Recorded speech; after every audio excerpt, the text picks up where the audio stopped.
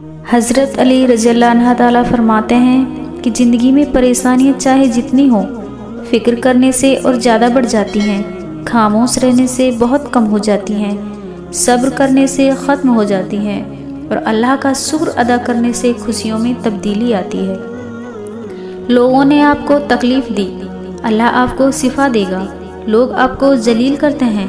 अल्लाह आपकी बढ़ाई करेगा। लोग आपका फ़ैसला करेंगे। अल्लाह आपका इंसाफ करेगा।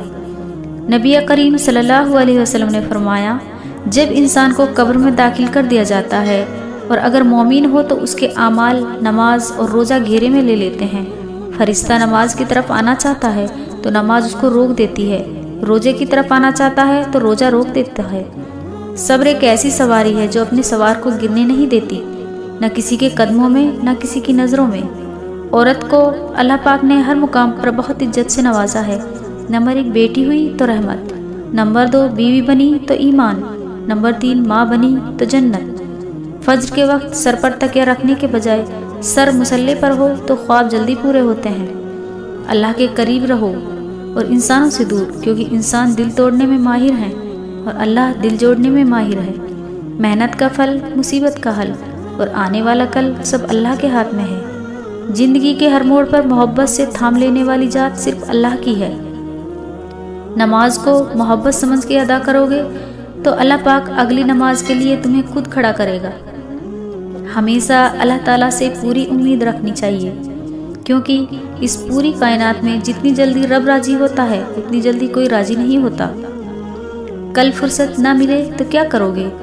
इतनी मोहलत ना मिले तो क्या करोगे?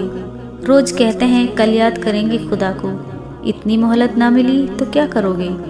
गुनाह को फैलाने का ज़रिया मत बनो, क्योंकि हो सकता है तुम तो तोबा कर लो, लेकिन जिसको तुमने गुनाह पर लगाया है, वो आपकी आखिरत बिगाड़ दे।